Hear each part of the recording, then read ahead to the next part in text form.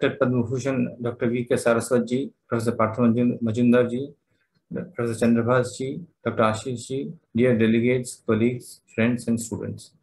I'm extremely honored to have you all here for this international symposium on host genetic response in COVID pandemic times, a boon or a bane. I, on behalf of Rajiv Gandhi Center for Biotechnology, welcome you all to this international symposium.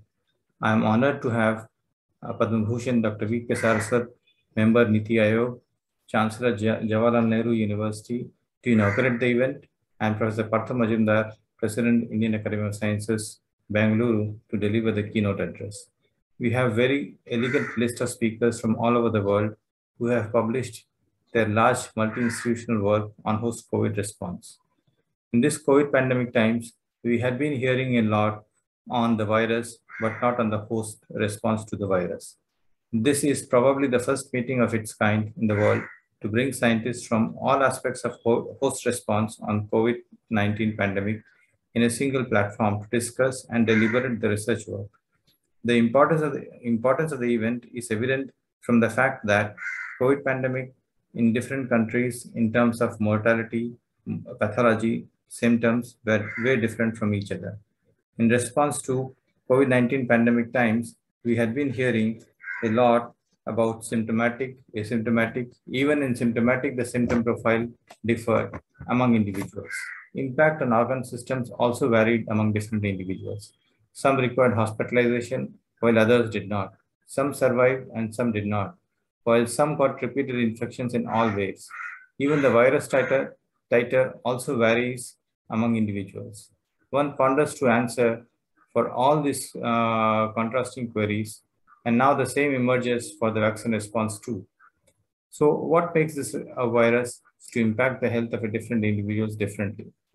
The answer lies probably in the host response. This host response biology is one of the most revered but neglected fields in the infection biology, which rather needs to be acknowledged most. As a convener of the symposium, I, brief, I will briefly introduce the topic. We as a geneticist believe that genetics drives the answer to many of the queries. You can see in the initial days of the pandemic, uh, majority of the death happened with a strong latitudinal impact in the around 40 degrees uh, north. And, the, and it is also evident that the temperature gradient in this particular uh, latitude is also quite similar. The uniqueness of this region is that the population residing in this region also have a more or less similar genetic makeup there, uh, which is uh, quite reflective of their immunogenetic makeup too. Things kept on changing and scientists all over the world started working day and night to resolve the crisis.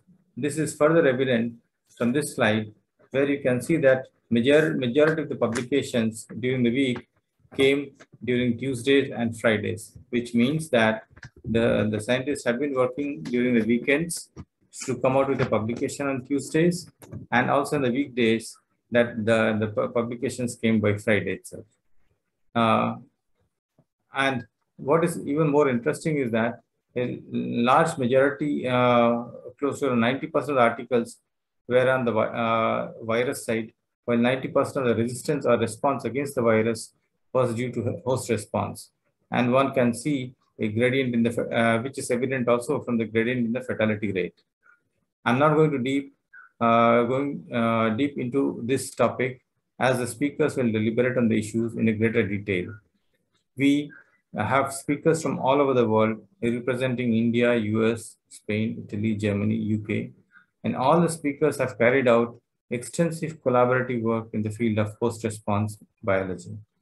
They will be covering the genomics and epigenomics, metabolomics of host response, variation to COVID, CRISPR screen for host pathogen interaction, sero survey, vaccine development uh, program of Bharat Biotech, uh, cell and organ level transcriptomic profile, chromosomal aberrations, rare and ultra rare vari uh, coding variant, and mitochondrial influence in pathogenesis, which definitely covers the entire spectrum of genomics we have close to around 500 participants who have registered and is streamed free through various social media channels. Interestingly, we also have very good participation from the Jammu and Kashmir. I wish you all a very pleasant and interactive session during these two days.